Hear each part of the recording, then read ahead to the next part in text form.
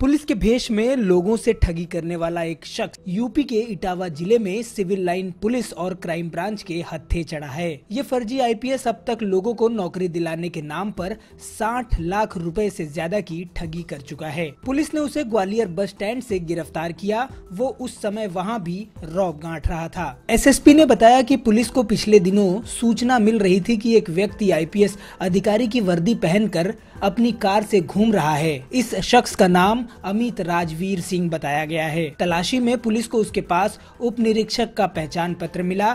साथ ही फर्जी अफसर के पास आईपीएस की वर्दी, दो मोबाइल और एक नेम प्लेट भी मिली। एसएसपी ने दावा किया है कि पूछताछ में अमित ने अपना गुनाह स्वीकार कर लिया है।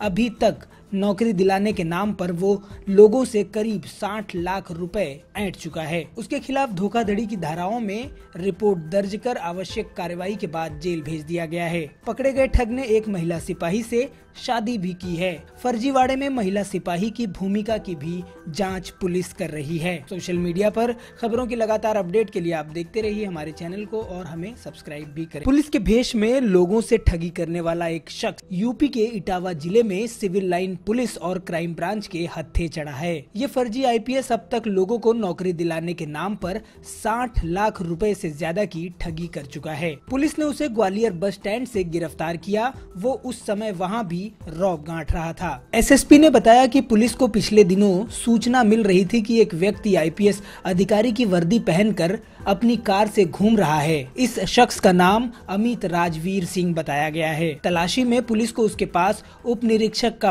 पहचान पत्र मिला।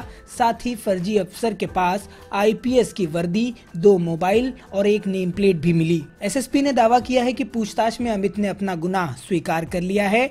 अभी तक नौकरी दिलाने के नाम पर वो लोगों से करीब 60 लाख रुपए ऐंठ चुका है। उसके खिलाफ धोखाधड़ी की धाराओं में रिपोर्ट दर्ज कर आवश्यक कार्रवाई के बाद जेल भेज दिया गया है। पकड़े गए ठग ने एक महिला सिपाही से शादी भी की है। फर्जीवाड़े में महिला सिपाही की भूमिका की भी जाँच पुलिस कर रही है। सोशल मीडिया पर खबरों की लगातार अपडेट के लिए आप देखते रहिए हमारे चैनल को और हमें सब्सक्राइब भी